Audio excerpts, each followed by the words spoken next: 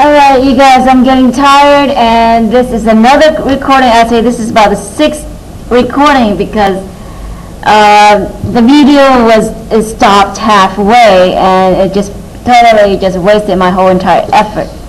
Anyhow, repeating myself, we did up to over here, and we didn't do this one yet, so I'm just gonna go and explain through what happened. Uh, so after we found the length, we need to find the angles. So over here, in order to find this angle A right here, you have the 90 degree minus 62, then you get 28. Then you double the 28 over here as well as down here because they're the same angles. Uh, and now over here, these two are 62 degrees from here. These are 62, so these are 62. Then you will add these two up. It's like 124, and then you subtract from 180, then you get 56 as your answer. Once you get 56, you take the 180, 180 minus 56 is 124, which is also the same right here, and then these are the same, and then you just write your answers in. Okay, so now next. Um, um, I will do this one as well, as you can see. So, here. Um, I'm going to write everything up as doubles because it is a rhombus, so everything just double up, everything is the same. And now, uh, the middle angle is 90, so everything is 90, 90 all the way around. As you can see, my voice is getting tired because this is just too much, too much technical difficulty in just one day, and I'm gonna go home. All right, so here we go.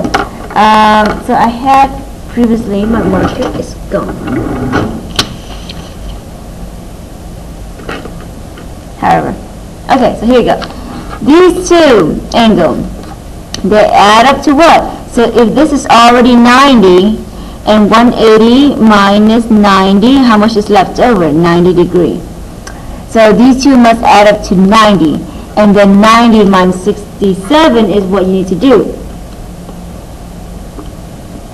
Okay? And so that will be 23. Now, if you're not familiar with this um, method, you can always do 67, I mean 67 plus 9, you subtract from 180, you will get 23. Then you double the 23 up on all the sides. Okay, so those are everything, and then after that, you just uh, find out what this side is. Okay, so as you can see right here, you have a right triangle. You have a right triangle right here. You have a 90 degree in the middle. So this is your side right here, x squared. a squared plus b squared equal to c squared. So let's call this x. So I'll write down um, 5 squared plus 12 squared is equal to x squared. So then it's 25 plus 144 equals x squared. 169 equal to x squared. Take the square root of 169 do that in your calculator or however, think about it. 10 squared is 100, 11 squared is 121, 12 squared is 144, so 13 squared must be 169.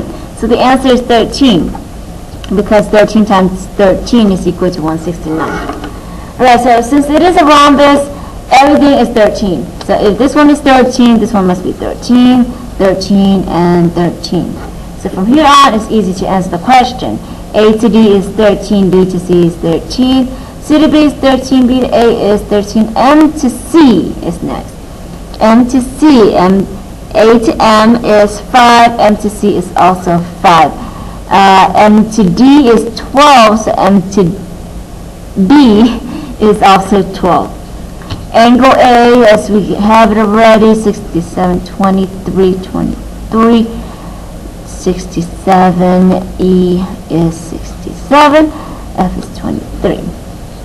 All right, A and B is the next one. A and B is in the middle, so that's 90 degree. Uh, next one is A, B, and C. So here is your A, your B, and your C, which is this entire angle right here is composed of 23 and 23. So you have 46 as your answer, and then Following after that, I have DCB, DCB from here to here. So it is this big angle, which is composed of 67 and 67. You have 67, 7 plus 7 is 14, carry the 1 is 134. All right, DCA is next. Uh, DC and A, so I can maybe use this one, D Is right here. To A is up there, so it's this angle, that would be 67. All right, so done. And the next problem, a square, everything is the same, everything is the same, so this one is the same as that one.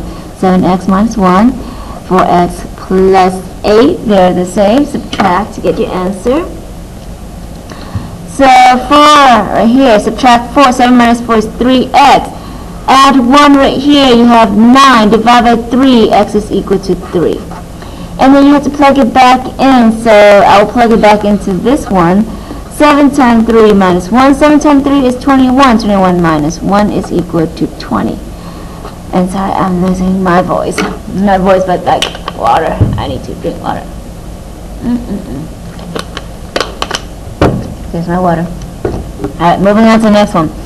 20, then everything is 20. So make sure that you label everything as 20. And then go ahead and put it in.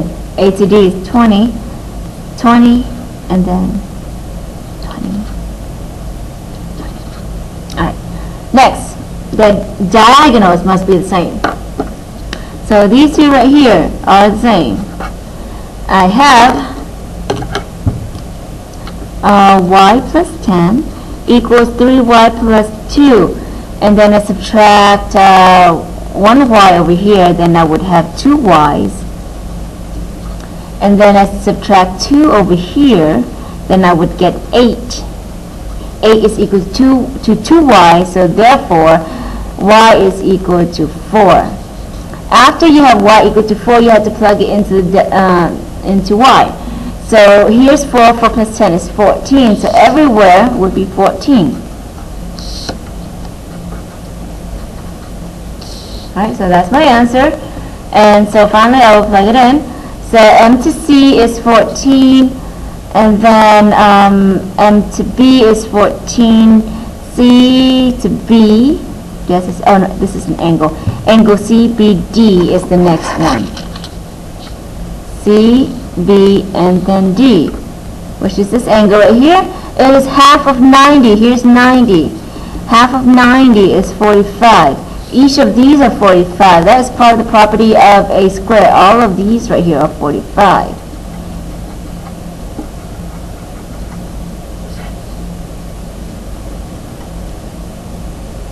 Next one, ABD. A to B to D is also a small angle, so it's also 45. And then lastly is a MB, A to to B. In the center, in the center of a uh, square, it is a 90 degree.